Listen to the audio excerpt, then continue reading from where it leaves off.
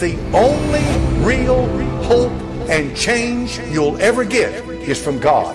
It's going to come from the Lord, or it's not going to come at all. It's going to come when you admit that you can't do it and that you've got to have His help.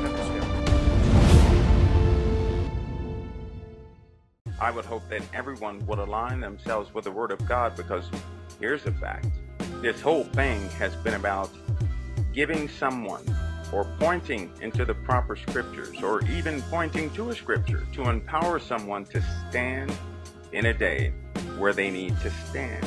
You see, because when it's necessary for you to stand, you could mean the freedom for a lot of people around you. But if you're not standing on the Word of God, the Word of God will not stand for you. And if that happens within your own power, you're not going to be able to stand at all. You see, there's a great facade, an illusion happening right now that makes you believe that the inhabitants of the world can stand without God's Word in their life. That's an illusion. One day, that entire illusion will fold in on itself. For those who thought that they could stand without the Lord's gospel in their hearts, His wisdom in their minds, the Spirit within their spirit, those who thought that they could do that without them, they're going to find themselves in a valley of no reasoning whatsoever. You know, if we look back into our own lives, really reflect on each and every situation that we can remember, we've all been shown a demonstration of how our lives could be. We've all seen, you know what, we all have a natural fear of something. And that natural fear is usually the very thing we attempt to avoid at all costs. And the Lord always shows His children just how bad things can get for them. All we need to do is be mindful of them. You know, He told the children of Israel, when they were delivered from Egypt, He told them, the day that you forget how I bought you out of Egypt, I'm paraphrasing, is the day you're going to go back into a type captivity. That same statement is true for us. Pride normally creeps in when you think you've overcome all obstacles within your own power. When you begin to take for granted the deliverance you've been given. You see, it's like this. If you forget how you were delivered, and that's not in your mind, you you become bored with the blessings you have in your life, which means you're not very content with what you have in your life, and you find yourself on a track of seeking more and more and more, never knowing you were delivered from a position where you had nothing, where you lost everything. And God delivered you. But not only did He restore you, but He restored you in a way that you it would be harder for you to corrupt yourself. I wonder how many people ever saw that one coming. He works that way. Anyway, we are discussing some things that take place prior to the beast putting his kingdom up on earth. Now, it's a difficult task I have from what I do know and what I see in the Word of God. It's a difficult task because it goes against the grain of most things. It does not seem likely. Nevertheless, it's happening anyway. And it's methodical in its nature. You guys have heard me use that word over and over again. It's very slow in how it was forming. It just so happens that things are speeding up greatly right now. The elite have begun to um, set their minds on survival more than a correction of the state of affairs. Have you guys noticed that no one really seems to be concerned about fixing anything? And when a problem arises in the global scene, no one's in a real rush to fix it. They just slap a band aid on it and, and uh, spend their time doing other things. What should bother you is this what are they spending their time on? They're spending a lot of time, but they're not fixing anything. And if you go back through policies and everything else, you're going to find that basically things have been untouched. What are they doing? How can a country, you know what? In fact, go and investigate the policies for yourself. Find out what was put in place, and you're going to find a great many things that really did matter were untouched. The only time they react and do something about any problem is when the media gets hold of a story and puts it out there on it. You see, these happenings are in their way they have something else to do. Have you guys noticed that? I mean, it's pretty obvious once it's pointed out that they've been spending their time doing something else. All the meetings and the global meetings they've been having, all the demonstrations and the positioning, what have they been up to? You have Putin laughing with the President of the United States and the next day they're not talking to each other in the public's eye. How can that be? And then they're laughing again three days later. These are things you don't hear about. They have a common interest. They know they can't take care of the multitudes of people who live now. So if they can sustain, if they can sustain the public in their illusion of a good life for a little bit longer, they will buy themselves some time to position themselves so that when a calamity comes, without warning to the public, it will consume many of their lives. And you know what? Like I said before, forget about thinking these guys are going to go into their underground cities and dying. That's not the way it's going to happen. These same individuals who went into the caves, into the rocks, uh, the mountains, and the dens, these same individuals will emerge as the beast with the beast system, being unimpeded by any believers or opposing religions. You see, before the beast actually comes here, the idea of the beast must be established. What follows next is the conditioning of the surface of this planet. The world and its occupants must be conditioned. We talked many, many days how many calamities will hit this earth. We already discussed the great number that no man can number who came out of great tribulation. Everybody's been talking about the book of Joel, Isaiah 24, Isaiah 34. A great many people have been talking about Matthew 24, Luke 21. You see, something will take place prior to the obvious thing. But there's one element they don't know about, and it's a spooky element, it's hard to put your mind around. But here's something. Don't think of things as spooky, because you know what? You know what scares me more than anything if I were to have a type fear? I would be fearful of those things that I cannot see, not the things that I can see. If I saw a monster jump out in front of my face, I'd probably tell him, please go somewhere else and let me enjoy my coffee. I'm being honest with you. I'm not frightened of bugs or anything else. But the most opposing enemy is the one that can charm you, beguile you, the one you don't see, the one that could sit at your dinner table, the one that could be your best friend. Anything else I can see, I can deal with. But you can't deal with an enemy who slivers into your life, causes you to begin to share life with you, and then wreaks havoc from the inside out. By the way, that's the way parasites operate. Parasites operate by destroying the host from the inside out. That's what they do. They do everything they can do to sliver in very discreetly. Then once inside, they begin to replicate themselves, just like individuals do inside the body of Christ. They sliver in under many guises. Then they begin to replicate themselves. In other words, they begin to talk to other people. And they turn a great many people against whatever body they're in. Then they go somewhere else and do it again. That's what they do. The other things that I may talk about shouldn't scare you at all. Number one, they can't touch you. They may look ugly and, and everything else, but they can't touch you. By the way, fallen angels of the worst kind take the most beautiful forms they can find. Just to let you know that. In fact, there are a great many documented finds that speak about beautiful women beautiful men who were in fact the fallen angels, bronze-skinned individuals, no imperfections. So they're extremely appealing. Now I want you to think about something. Your flesh is rotten to the core. Your flesh is rotten to the core. Your flesh is a vehicle which contains your soul and your spirit. But your flesh is rotten to the core. Your flesh is full of sin. Your spirit is different if you belong to the Lord and Savior Jesus Christ, but your flesh is rotten. It's full of lusts, full of pride, full of self-salvation and everything else. Now the enemy, being of the world, who inspired the world, knows everything about your flesh he needs to know. He can lure you if you operate in the flesh. This is why it's important not to walk in the flesh, but to walk in the spirit. Because the enemy knows everything about your flesh more than you do. He knows how to entice you. He knows how to do anything he needs to do to you to get you off your path. You cannot continue to walk in the flesh. If you walk in the flesh, you're walking in the world. You'll have fruit of the flesh.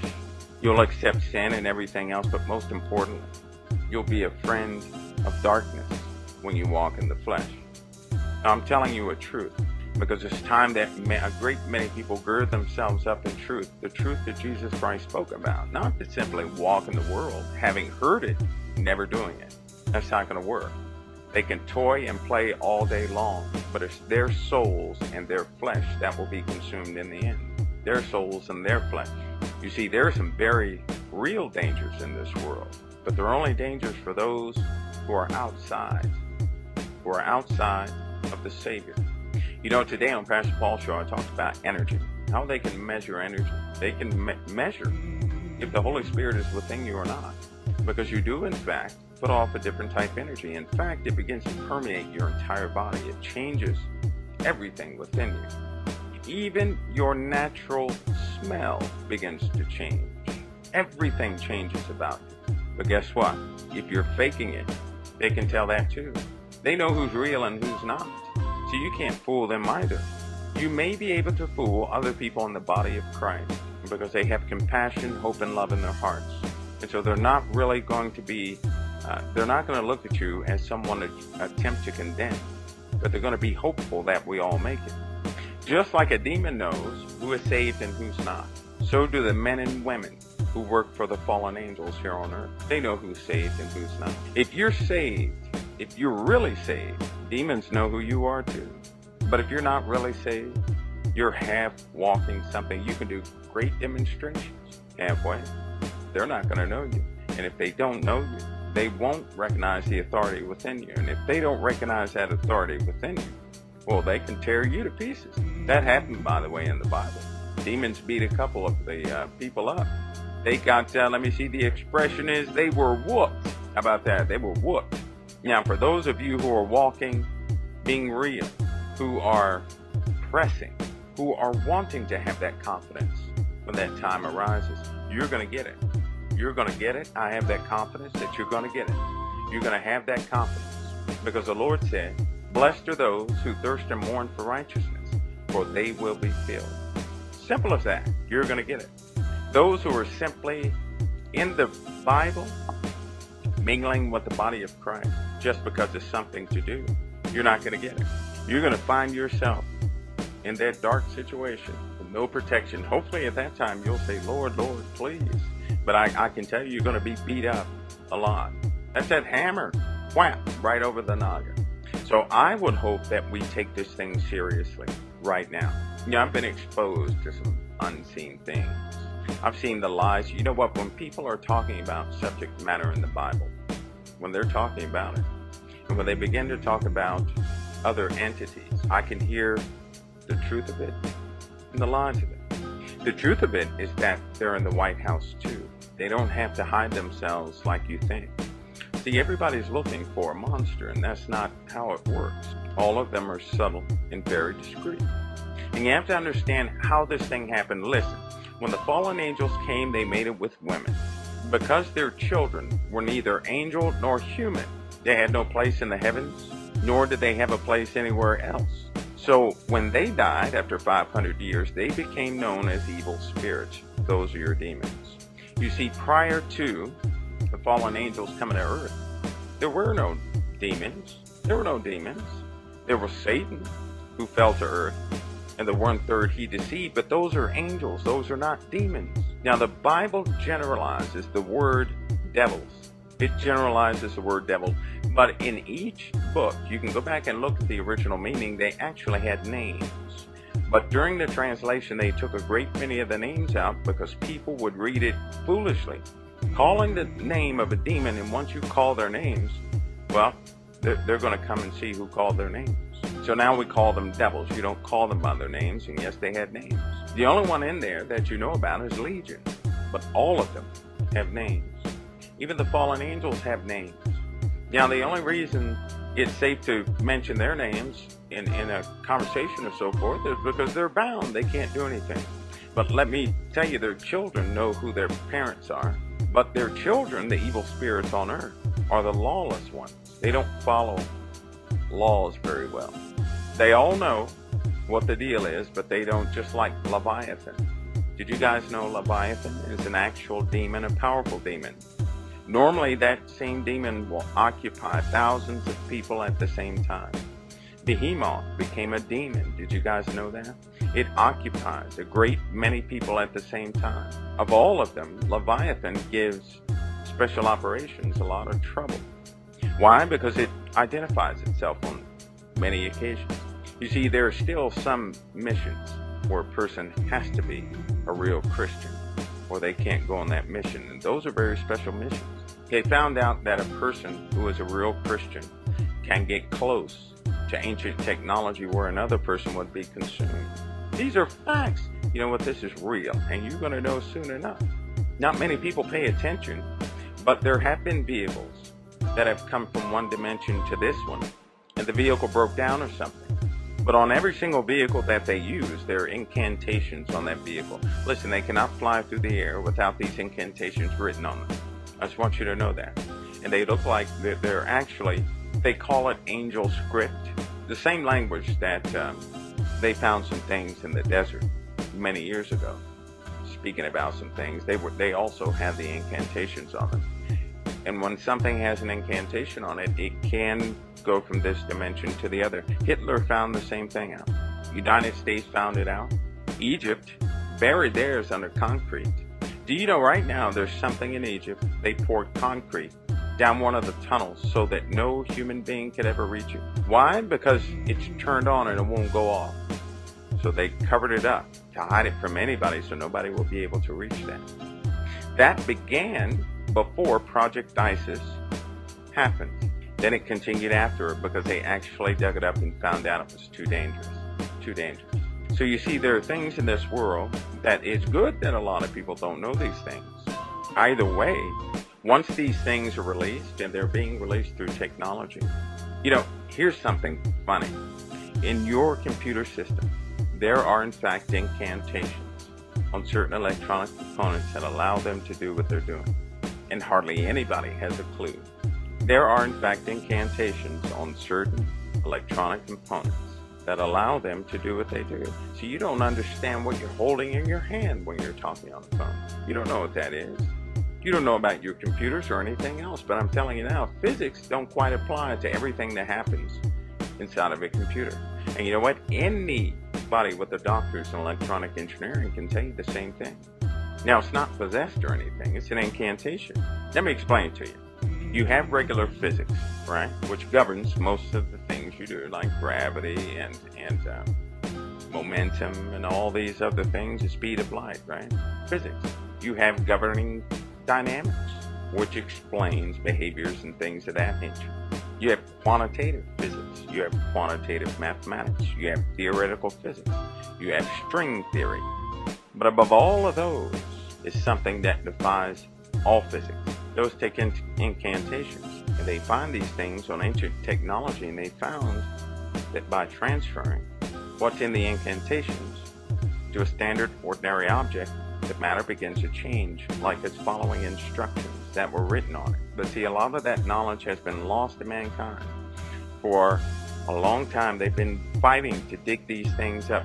Did you not know in the Ukraine, quite a few of those uh, artifacts exist? Quite a few won't turn off. Some of the ancient technology built a long time ago, before Noah, still exists. There are weapons in the ground that they can't move. They just basically declare these areas as national parks or something. But that these these things activate in the presence of a certain type of enemy. Let me tell you what type of enemy. Well, they found out that in the presence of the Elohims, you know, Michael and Gabriel and so forth, these things activate. Do you not know that they're turning these things back on again? They were destroyed. But they're going to use these in the war against God in the end. You have to keep in your mind that Satan will go out and deceive the world to make war with God. First of all, let, you have to understand his mindset. He's bound for a thousand years. He can't do anything the first thing he does when he gets out, when he's unbound, is goes out, deceives the world, saying, "I can win again." You know what that make? You know what? This guy's delusional. Satan has lost his brains. That's what has happened to Satan. He's lost it. Satan has lost it. Period. He's very smart. He's likely autistic, but the worst kind. Not my kind of autism, because you know they actually diagnosed me with autism. Isn't that funny? Of course, well, that's another. I'm going to talk to you parents out there about children with autism. Medicine is good and and and uh, things ain't. But listen, I've worked with a few children with autism. I have a nephew that's autistic. Well, it was autistic, and you know what? They have not been able to make a connection to open up the world to them. So they've not become sympathetic to the things around them. Now, if that can be connected within the child's mind, they begin to open up. That's what happens. Well, Lonnie, I, I tell you what, the reason I was, my focus in certain areas is well beyond the average. There are certain things that I don't need former training on. I just automatically know how to do, how to design. And I do a lot of design and I can understand it. I told you guys before that uh, with electronics, I can visualize how the protons and electrons are interacting with each other. In other words, I can look at a circuit and to me, it's like it's, I can see things moving. I can see how it works, a, a built-in knowledge, if you will.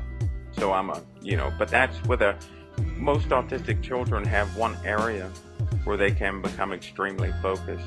Mine tends to flip-flop because I like art. I like electronic design. I like robotics.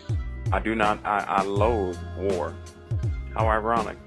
I'm very good at understanding human emotions. Well, there, there are just several things. And you know what? They found this out while I was getting my education. They couldn't understand why, because some subjects, like, uh, I didn't like history at all. I didn't like it. You know why? Because I could, could never accept history. Now I know why. I just, I couldn't accept it. There are a few subjects I just could not accept. And nobody could explain it to me, and I, I just couldn't accept it. So anyway, I excel in certain areas, and certain areas I just absolutely do not excel in. I'm no good in those areas. Might all. But a lot of autistic children have a disconnect. They're not very empathetic with the with their environment. But all they need is a connect. I'm telling you right now, all they need is to make that connection. That's all they need. Anyway, enough about me. I'm a strange one. Nevertheless, I'm just like you all. I'm just a bit nosier. That's all. It's the only difference. I'm just a bit nosier. And it's not that I'm a smart guy. It has nothing to do with being smart. It's just that the Lord has, has given me gifts, and I use those gifts for His kingdom, of course, because again, I do not like war. And every single time my conscience wins out, every single time. I've changed, declined positions, simply won't do other things. What's happening right now? I'll tell you what's happening right now. They're doing something, the leaders of the world are doing something other than preparing the public for what is to come. Now, Russia, here's it, Russia tried, they tried their very best to warn everybody. You know, they did want a worldwide internet so that they could begin to warn everybody of what was coming. But the United States shut that down quickly. I mean, they really shut it down. I don't know if anybody has noticed, if you use Google Chrome, anybody use Google Chrome, there was a forced update to Google Chrome, to IE Explorer, to a few other internet browsers, so that they can have absolute control over the kill switch. They want absolute control. They want 100% control of media feeds. In other words, if someone's going to tell you the truth about something, you're not Opera 2, Opera, Foxfire, all of them, any Mozilla-based product, every single last one of them. Now, hear me out. I'm gonna I'm gonna tell you guys something. Everybody who has endeavored to tell the public the truth, the global community the truth has died. They have died. You know, a lot of people think they know what really happened in Libya. Why we went in there and did what we did inside of Libya. But you know what? Someone was going to tell the truth. And so they died. The only one that they really apprehended, because this guy was terrible, was Saddam Hussein. I don't like war, but this guy had to go. He was putting people in meat grinders and everything else. I want you to think about what did Gaddafi do? He would invite people there to have uh, their little shows and so forth there. They said he was terrible, right? They, that's what they said. They said it was terrible. He was getting a little bit too comfortable. He found out about some things concerning Europe, America, China, and some other folks. You know what he said? I'm going to let the world know about this. And they went in there and they got him. They went and got him. Going to tell about that too. But they went and got him. All these bankers you guys hear about uh, dying and so forth. Now listen, I said this before. Some of these guys are being murdered, but the other half are running the infrastructures underneath your feet. You'll never see them again. Sometimes when you get promoted in certain branches of the service, the only way to get promoted, promoted is to tell the world that you died. Normally a suicide or something else. That is their insurance policy that you'll never resurface. Can you guys understand that? I know this is a bit uh, heinous of how they operate, but this is just how things operate. The only insurance a person can have is for them. It, once they announce that you're dead, you killed yourself or were murdered or something like that, committed suicide is a good one. They know that you're you're not going to come back because you're effectively cut off from everything. And if you do show your face, well then you're you're you're you committed fraud of the greatest degree in which case you'll be jailed and still go back to the same position you had underground. But a lot of these guys didn't commit anything. They just simply were promoted and they're going into underground structures. Now, a lot of people, listen, you don't have to believe me about the underground structure. Yeah, I don't care if you believe it or not. I'm just telling you that these things were in progress, they're in motion, they're happening, and it's not too many days until the sky changes. This is why I'm constantly asking, begging people, be real about your salvation. If there's any unclean thing in your life and you are aware it's unclean, please do your best to get rid of it. If you're in one of those sticky situations you can't quite get out of, then you need to go in your secret prayer room and sincerely petition the Father to show you a way out. Then you need to go and confess it to a stranger that's not in your little group. Listen to me. Please he, hear my instruction. Go confess that thing to some strangers, someone that can keep accountability of you. Because once you release the fact that you're in this situation, Satan instantly has to start taking his hands off of it and you'll begin to think clearly. Go confess it to some strangers, more than one, so that that thing can be turned around. This is not the time to have anything unclean in your life. And you know what? I, listen, I'm not talking about drinking and smoking. That's not what I'm talking about. Some of us are in positions where we are perpetuating a lie. Some of us are in positions where we're into something we're covering up for somebody else. I'm talking about those things that can destroy someone other than yourself. Get out of them quickly. Get out. Get out of it. Don't tell anybody here. You go tell a stranger so they can have accountability. Those things you need to get out of.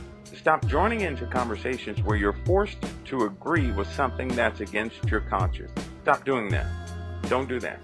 You know how when you're in a group discussion and somebody somebody will say, now now something that's like, listen to me. Somebody will say, well, don't you agree with that? And you say, mm, yeah. You say, yeah, for the sake of not letting the argument go sky high. A lot of people do this with politics. Now, how hard is it to say, I'm not going to comment about politics? That's not very hard at all. How hard is it to say, I don't talk about other people? How hard is that? How hard is it to avoid the very temptation you're asking for deliverance from? If anything offends you, cut it off right now. Porn is a good one. You know, the statistics in the military about porn is unbelievable. If you're addicted to porn or something like that, because the internet is right there and that stuff is free, then what you need to do is change your habits with the computer. When you're bored, don't sit in front of the computer. Go turn it off. You need a hobby or something. You need to begin to change your habits and get away from those things. Get away from them. Because you know what porn is? Porn is feeding the lust of your flesh. And you know what lust is? Lust is something that you cannot quench. So it's going to keep coming back for it, coming back for it. Not to mention, porn unleashes a hunger within you that will lead to worse things. It's going to lead to worse things. That's why you have to walk in the spirit, not the flesh. And listen, when the temptation comes on you, that's when you fight. Stop saying, stop saying, I failed you, God. Stop saying that. You need to fight. When that temptation comes, you go and tell a stranger, you know what? I, I, I can't tell you what, but I'm addicted to something. And it's, it's just getting me. You know what? A secret is a temptation. Did you guys know that? Anything you keep secret is a temptation. You ever notice the Lord says, confess your faults one to another. You ever notice he said that? See, when you confess your faults one to another, what happens is somebody else has accountability. It unlocks something in your mind, and now you know this other person that you just confessed to can call you on what you just said. Checks and balances. Same way you don't rob a bank. You don't go and rob a bank when you need cash because you know you'll go to jail. Well, if you confess your faults one to another you say, oh, I got a problem with this, then when that problem arises or you're around that individual, they can call you on that problem and they help you out. But some people look at that offensively. Well, I don't need them helping me. Yes, you do. Or you would have solved it already. But see, a person addicted to porn has more than a lust for porn. They have another lust, and another lust, and another lust. That's part of being in your flesh. But God told Cain, you must master sin. Overcome your flesh. You know what? You're an overcomer. You don't wheeze out of things. You don't tell God to take it away. You yourselves have to have the initial desire. And the fact is this. Some people desire that porn out of their hearts. That's a fact. Whatever you do not, that's just like, uh, listen, you can only be tempted by something that resides in you. Even the Bible says we are drawn away and tempted by our own lust. We're drawn away and tempted by our own lust. God does not tempt us, nor can he be tempted. But we're drawn away by our own lust. No one can tempt me to stand on the, the cliff of the Grand Canyons and, and, and say, you know what, jump head first. To me, that's not a temptation. I don't desire to jump off of anything head first. I don't have that desire they can't tempt you to do that either because you don't have the desire either, right? So you cannot be tempted to do that. I can't be tempted to stick my hand in a hornet's nest. Can you? Can you be tempted? Nobody can tempt me to do that. You know why? Because that would hurt. Nobody can tempt me to do that. You see, something has to reside in your heart for you to be tempted. Now, I'm telling you all these things because a great many people don't, you, you have no idea what it's like to stand in front of darkness. During the evening times when the sky is a purplish color and a turquoise color and a light pink color with shades of blue dancing within the clouds, people are going to say, oh, how beautiful. They're going to say this every evening. It's going to be like a every evening thing because it's going to be so pretty. But very few people will notice that even that sign is a sign of something so horrific that they couldn't possibly imagine beauty could be mixed with such deadly venom that will pour out over the earth. Now, I'm, I'm speaking to you from an operative standpoint tonight. You know, there's an urgency within me. There, there, there has been an urgency, but there's a greater urgency right now.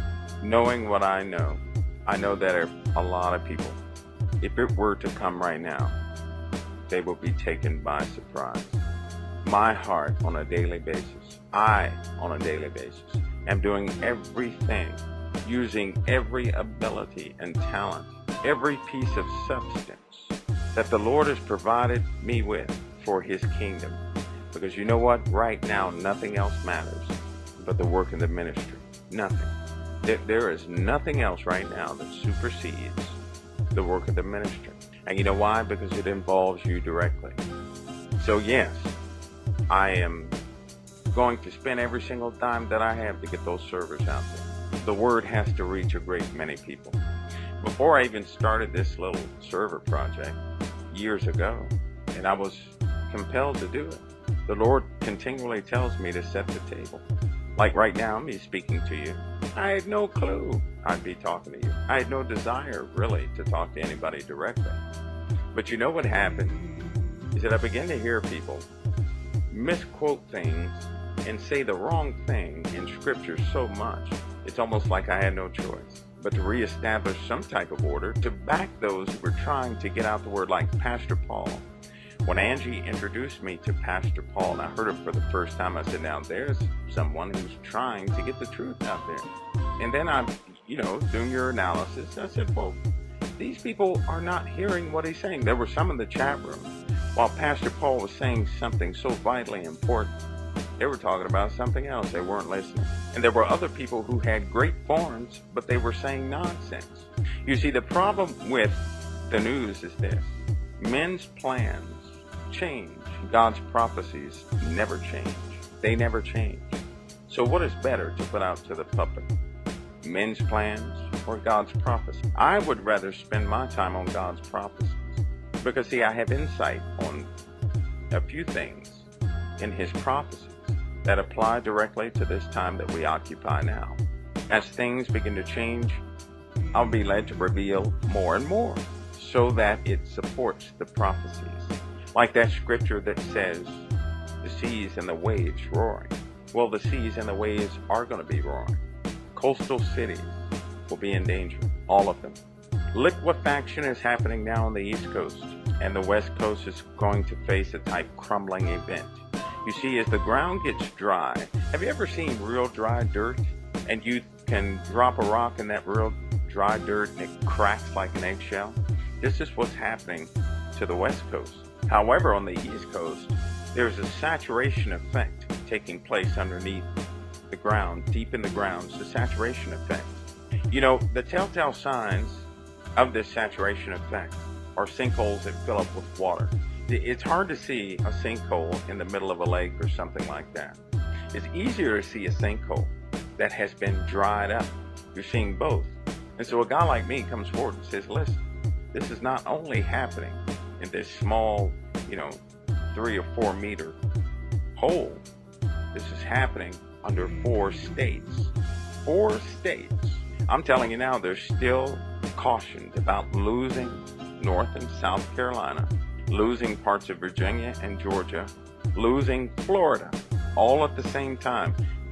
Listen, can you imagine if that happened all at the same time? Let me give you let me give you a hint about something too. We need all of our soldiers back in America. Now I want you to ask yourself in the privacy of your own thoughts, why in the world do we need all our soldiers back in America? What in the world is going to happen? Not some of our soldiers, we need every able body back in America. I am not at liberty to expand on that subject. A couple weeks ago, when I was made aware of it, I couldn't, it was hard to ascertain that the conversation was taking place, Gary. It, it was very difficult to understand that they're actually discussing this now.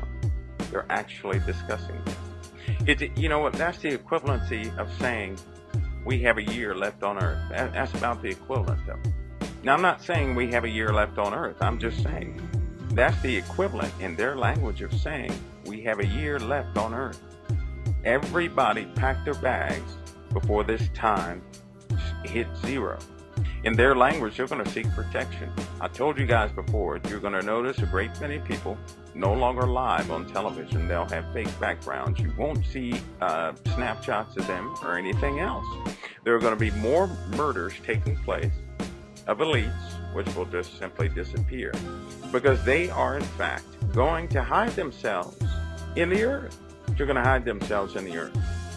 I was trying to get a hold of Tanya today because uh, AEP, which is a power company in West Virginia, and uh, they span the Appalachian Mountains, have actually installed the switch transformers on the poles with the flick of one order.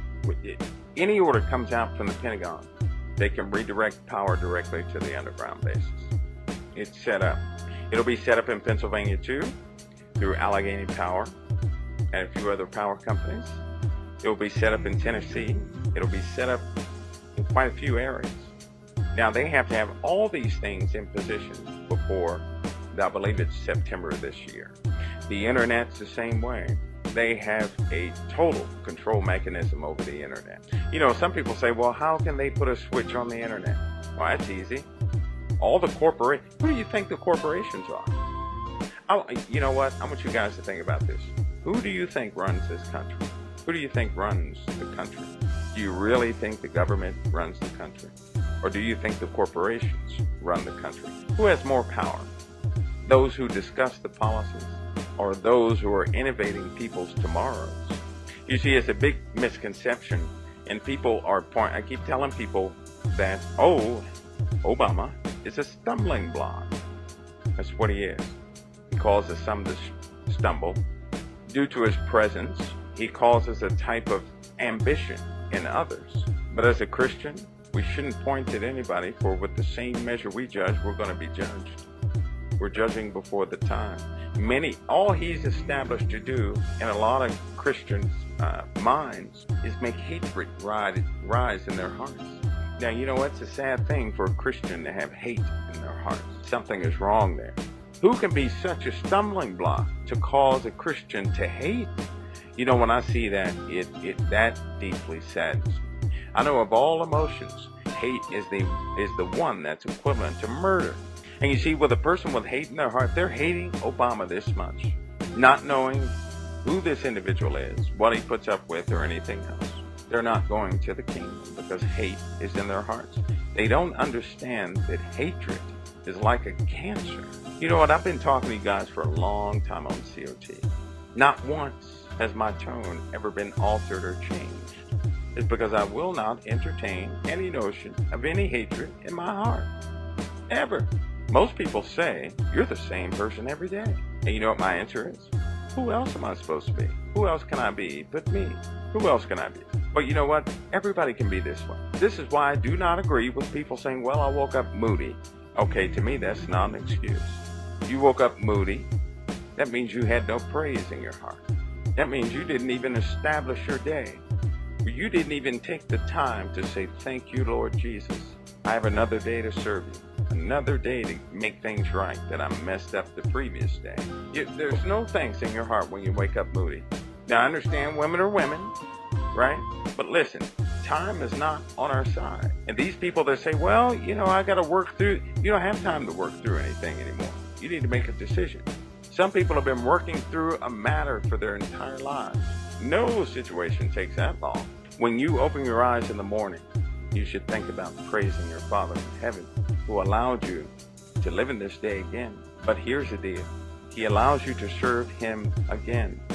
You know what? Tomorrow, when I wake up tomorrow, if I wake up tomorrow, I can always do a better job than what I did today. And you know what? I think of every day like that.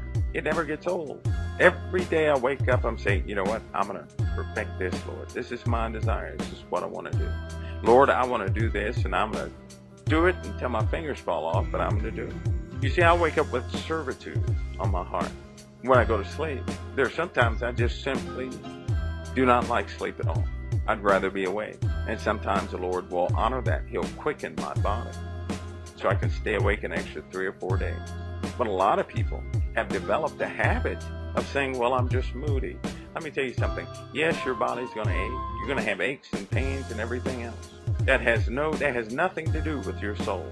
Your servitude for the sake of your brothers and sisters can outweigh any pain, any disability, any evil thing that has ever happened in your life. You see, when you start to think, when you realize, first of all, how much other people matter, and that to serve Jesus, you serve your brothers and sisters, you, you begin to see, ooh, well, hmm, there's no way I can serve Christ and not serve my brothers and sisters, first of all. Because every good thing that I extend to them, I'm extending to the Father. That's why a lot of people are going to get it wrong because they think they can serve Christ, yet they can cut off everybody in their lives. That's not the case. But you know what? The evidence is the evidence. The Lord will quicken you to accomplish that. Back to the weird news. Yes, they are building arks. They have built them. They have a fleet of arks in the ocean. You know what? The arks that they build these are military ships, by the way, international efforts. They are so big that they can't come, you know, but they have to be in water very, very deep. Each one can carry, I, I think now, I think, each one can carry up to 50,000 people on Now, who in the world is going to build something that big? Each one can submerge totally underwater, but they've been building them in the deep ocean. When you see them, you only see the top. It's a little tower, observation tower, but the majority of the ship is underwater. Now they built these because they know that the water levels are going to become chaos. They know the deep ocean is going to be the only safe place for a while. And wouldn't you know it? In the book of Daniel, it says he plants his tabernacles between the seas. Speaking about that man of perdition, plants his tabernacles between the seas. You got to tie these things in together so that you can begin to see parts of what the what the truth is out there. And maybe you'll begin to feel just how close we are and why the enemy is falling down. He, he's trying to do everything he can to divide us and everything else. He's really working hard now. but hopefully I can share to you as to why. All we can do is to ensure that we are in the Father's bosom. And the only way to get there is through Jesus Christ, and then He does the rest. He does the unbelievable things. He will um, keep us in those times. So that's what we have to do. He'll keep us. You know, I, I'm, I'm living proof that the Lord is just. He really is. But there is a, again, a tumultuous time coming that's taking shape right now. You guys remember about a month ago I said that, you know, the news would begin to, you'd hear strange things in the news. And you know what, that time hasn't even, it hasn't hit yet. So when that hits, I'm wondering, here's what I don't want to happen. People get a clear insight of what the prophecies say, and then all of a sudden, because of the magnitude of the news that they hear, they, they begin to get um, off balance with things. I don't want that to happen to anybody. I don't want them to get off balance, but rather stay on focus with what's happening. You have to stay on focus. It's always good when you read the word for yourself and you see it for yourself because we are born with this skeptic nature. And so when we see the scriptures ourselves, not only can we visually confirm it, but internally, spiritually, the Lord can confirm it as well, which is most important. You see, we really shouldn't take everybody's word for everything. We really should investigate the scriptures for ourselves. Because where the Lord may speak to me one way through his scriptures and reveal certain things to me, he can reveal more things to you, which you can in turn share with the body of Christ. And we all grow and benefit from each other's labors. Not everybody benefiting from one man's labors, but everybody can benefit from everybody's labors. So that would be a wonderful thing. Now, again, we've been in this book of Revelation seeing what happens prior to the beast getting on earth, and it's not looking good so far, is it? It's not looking good at all. In fact, we have seen so far in the book of Revelation prior to the beast getting here, nothing is looking, nothing looks promising. We have a great earthquake. And you know what? That's one of the, in the sixth seal. The great earthquake in the sixth seal. The sun and the moon changing, the stars falling to earth. I'm going to talk about the stars falling to earth and tie it into some more scriptures because as I shared with you the other night, we have the sun, the moon, and the stars not showing their light or withdrawing their shining by reason of smoke thick smoke, thick darkness upon the earth. It also says that um, the sun, the moon, and the stars will withdraw their shining when God is on Mount Zion. Again, that happens. The kings of the earth hide themselves in the mountains. The heavens depart as a scroll when it's rolled together. You know, we discussed this. Now it says a scroll when it's rolled together. Imagine you roll out a paper towel, two paper towels, one to the left and one to the right, and you begin to roll it together. That's what it's talking about, the heavens departing. Almost as if it's going to roll up into a bunch and then poof, it's gone. You know, there are a few scenarios that can cause that to happen. There are some that are way out there, some that you've never heard of, and of course, some that we're familiar with. We're going to talk about that too more in depth. Of course, the 144K are sealed from the tribes of Israel. Please reference Revelation 14, 3 through 4 to understand who they are. And a great number that no man can number is found in heaven who came out of great tribulation. Now, Revelation again uses the word, and then after this happens, and then after this happens, and then after this happens. So we know that we can trust the order of Revelation. I know a lot of people would love to overlap and set it on top of each other, but the problem is this Here's a problem. Let me give you an example. Let me give you an example. Because many people think this. So let me give you an example. On the seventh seal, it says, when, when he had opened the seventh seal, there was silence in the heavens for about a space of half an hour. And I saw the seven angels which stood before God. To them were given seven trumpets. And another angel came and stood at the altar, having a golden censer. And there was given unto him much incense, that he should offer with the prayers of the saints upon the golden altar which was before the throne. And the smoke of the incense which came with the prayers of the saints ascended up before ascended up before God out of the angel's hand. And the angel took the censer and filled it with the fire of the altar and cast it into the earth. And there were voices and thunderings and lightnings and an earthquake. And the seventh angel which had the seven trumpets prepare them to prepare themselves to sound. Now this is the seventh seal preparing for the seven angels are being prepared to sound. So on the seventh seal, the angels get their trumpets. They're preparing to sound. The prayers of the saints is mixed is gone up to heaven, is mixed with fire from the altar. That is cast to the earth. When the first angel sounds, there followed hail and fire mingled with blood. They were cast upon the earth, and a third part of the trees was burned up, and all the green grass was burned up. Of course, we went over this. So on the seventh seal, there was silence in heaven for the space of a half an hour, and the seven angels were given seven trumpets, and they prepared the sound. And then, of course, all of them began to sound. Now, on the seventh trumpet, the mystery of God should be finished, and the beast comes on the scene. The war in heaven is taking place. This is when the actual beast comes on the scene. But here's something. You have most of your government organizations are very familiar with this, and a few other texts that support what's happening in here. They are preparing for revelation to come to fruition. They're preparing that. They know what's going to happen. They trust what's going to happen. They've always said that there's one thing they cannot overcome, and that's prophecy. They have to work around prophecy or work with it.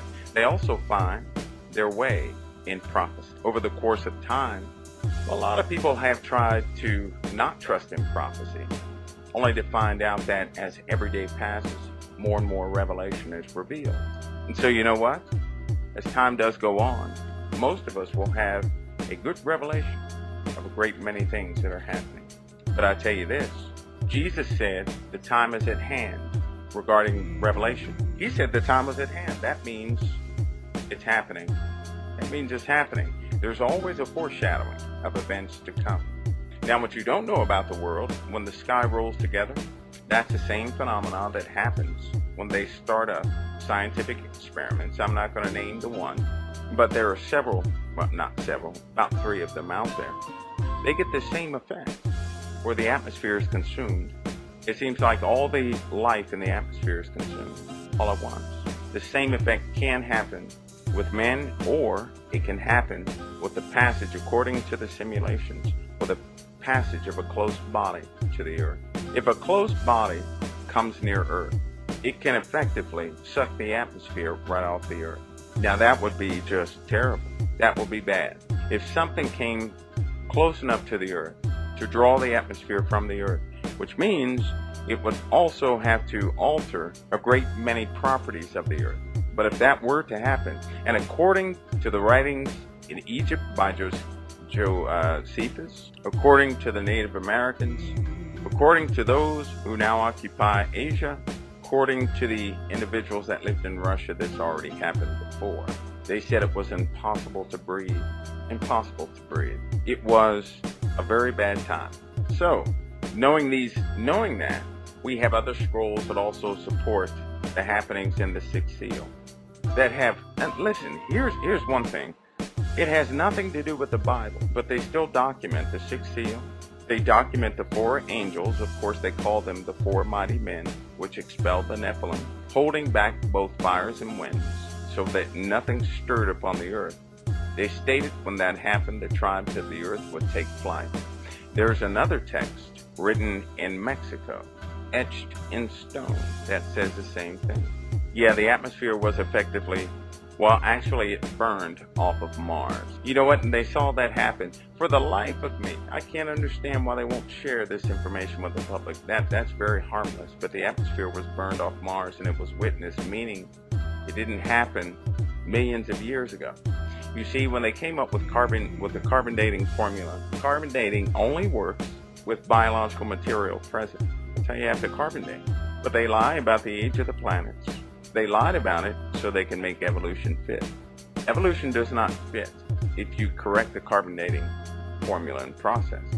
And with the changes in the sun, radiocarbon dating, half-life of material is different because the sun's energy directly involves the chemical structure of most things. That's terrible. So what I'm saying is that when these things begin to unfold, which will happen uh, some of these things are going to happen fairly quickly. but there's some unknown elements that people are going to deal with that they thought they'd never have to deal with before. This is going to consume the minds of many who are unaware. Here's a fact. There are little lights in the sky roaming around. There are things under your feet.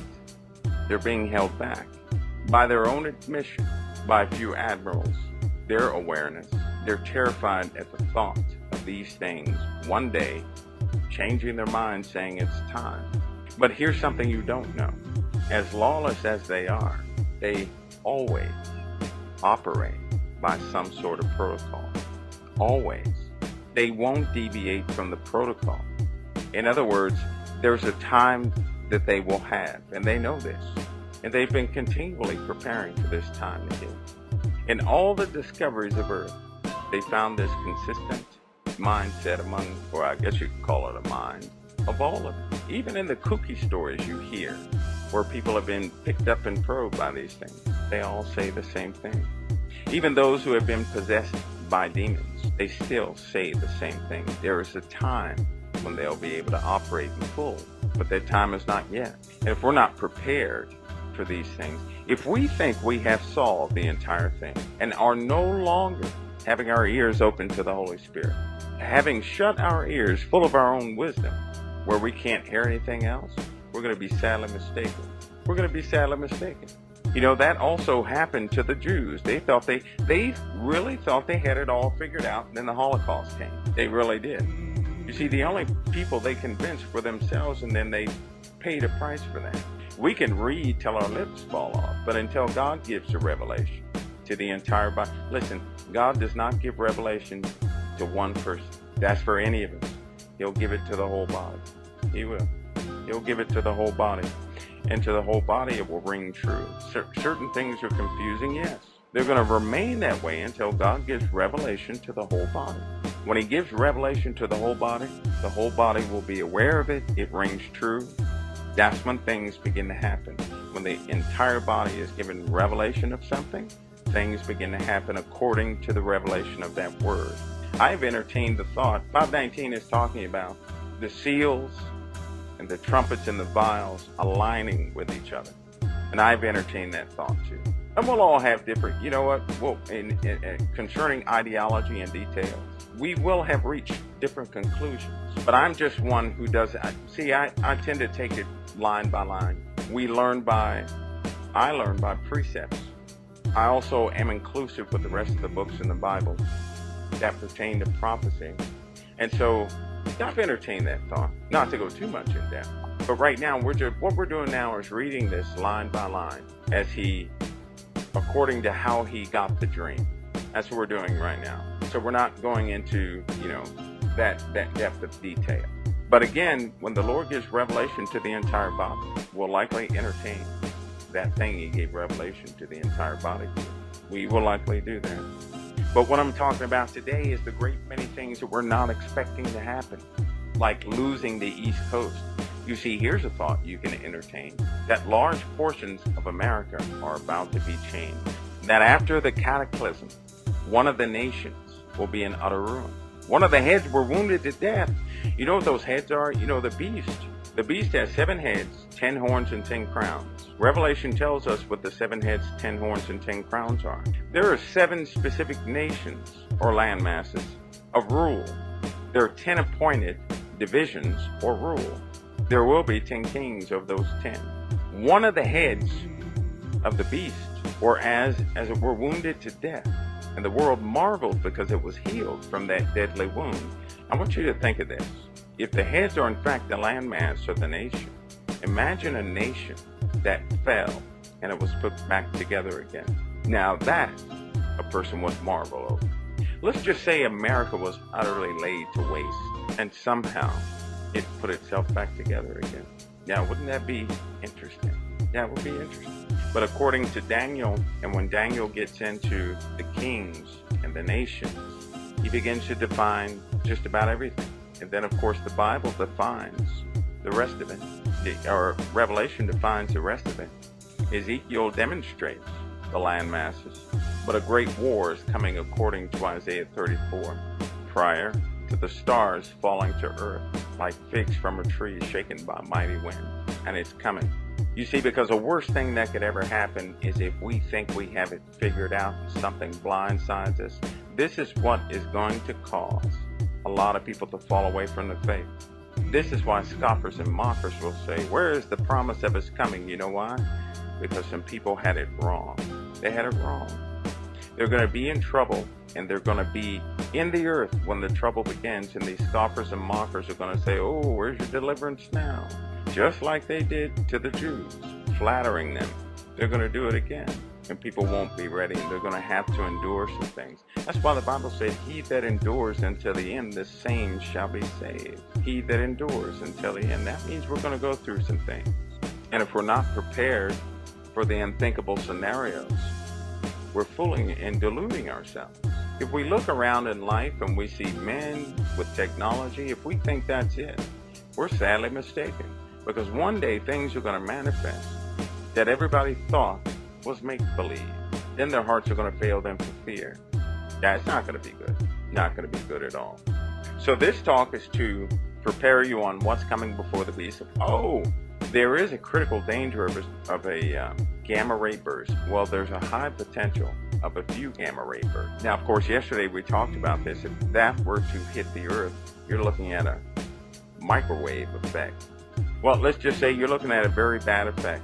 Now, it's so serious that most of the power companies have taken precautions against it, and they're doing a fast job of it. You see, they approve funding to prepare the nation to leak the uh, extra energy back into the earth. Anybody know about that funding they gave them? They've also enabled funding to switch power stations by another control mechanism, which means if something happens, they're going to divert power to the military bases. That's what they're going to do. In the Appalachian Mountains, that will be in uh, Bluefield, Virginia. That's where power will be diverted to. That's where the airfield comes out of the mountain itself. So it's a lot of things happening right now people can't quite understand. But I'm telling you now, the critters are coming back. Those things that walked in the ancient days are going to walk again. Don't worry about the form. Sure enough, they'll have different forms. But I'm telling you, they're going to walk again with the same ambitions. And it's not going to be good. Because I told you before, how society is today with the houses and the clothing and every, it's already happened before. It's been here before. You know, they're digging up, after all these years, they're digging at the bottom of pyramids, finding Timex watches. They're finding soda cans. They have different names on them. Dinosaur bones with shoe prints in them. Prosthetic limbs on other dinosaurs. Harnesses on them and so forth. These things drowned right there where they were with equipment attached to them. Libraries upon libraries of how to train them and communicate with them. More pyramids being found with pictures inside of a society just like this women with little sundresses on, kids walking around in buildings all over the place, except their architecture was a little different. But it's been here before.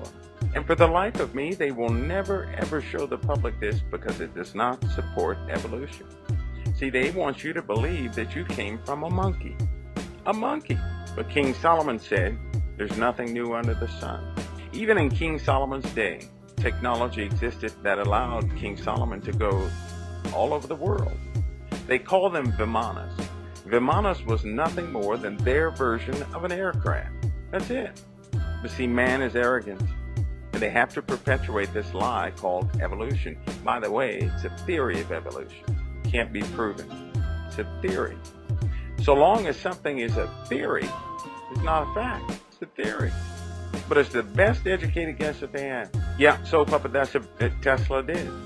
But you see, when he declined to hand over everything, well, they had to get rid of him too.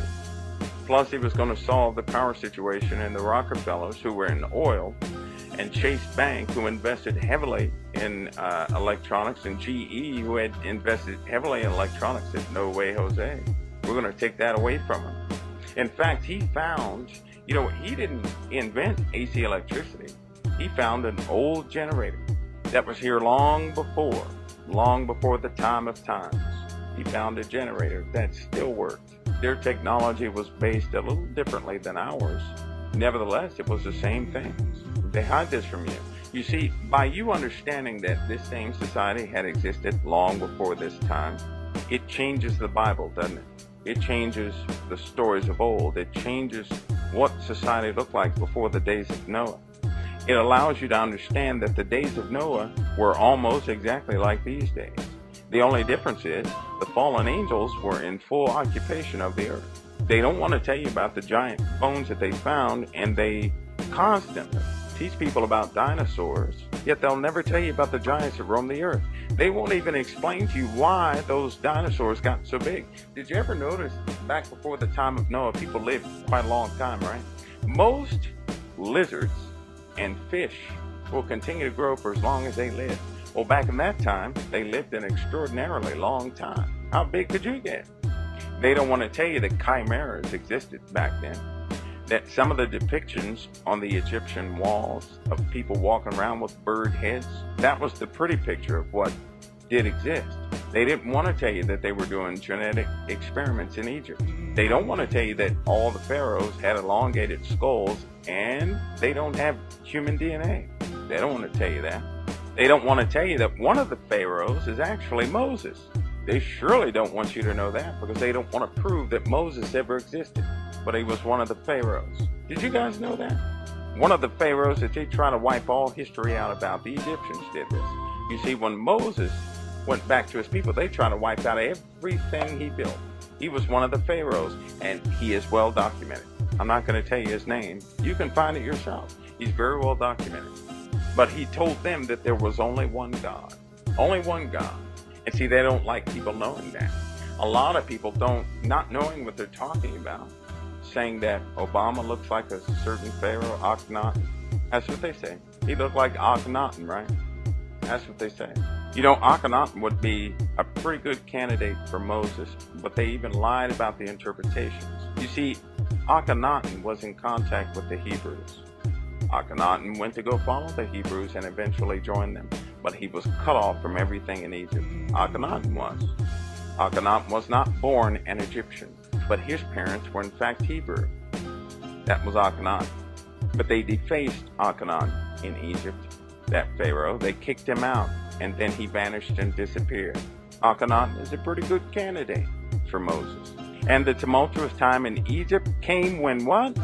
Akhenaten vanished. That's when the deliberation came for the Hebrews, according to Egyptian, history. And so they removed, they struck his name from everything. They removed it, except there were certain tablets that were buried that retain the history of Akhenaten, who, by the way, had a Hebrew name. I'm just saying. Go look it up yourself. They don't want you to know about these facts. You know, they've lied so much that there's no way they can tell the truth. It's bad when you have lied so much you can't tell the truth. Now that's bad. That's a bad position to be in. But I have firsthand knowledge of how deep some of these lies go, and there's no way they can tell the truth. If they told the truth, people would point at them and say, You're lying. You know, that's bad when you tell the truth in society, and society tells you you're lying. Yep, JS, there are, you know what? There's a place in the Grand Canyons that if you entered a portion of that place in the Grand Canyons, you would get sick. In fact, no one's been able to penetrate it you can look through the little hole and see giant bones that still have the skin on. They're not mummified either. It's almost like they're in stasis. But that area is off limits now. They lied to you about the, the, the composition of the earth. They really lied to you about the composition of the earth. They surely lied to you about the moon and its composition. They lied to you about Mars and its composition. You see, the Mars story messed up. The Mars story messed up because one of the one of the probes out there started putting back the real data before they can get their little hands on it. And it was almost an atmospheric match between Earth and Mars. Anyway, we'll continue this conversation. Notice also in the last days perilous times shall come, for men shall be lovers of their own selves, covetous, boastful, proud, blasphemous. It takes the grace of God to change us, folks. How can you be saved? If you're not willing to repent. And the Lord Jesus Christ said, Except ye repent, ye shall all likewise perish.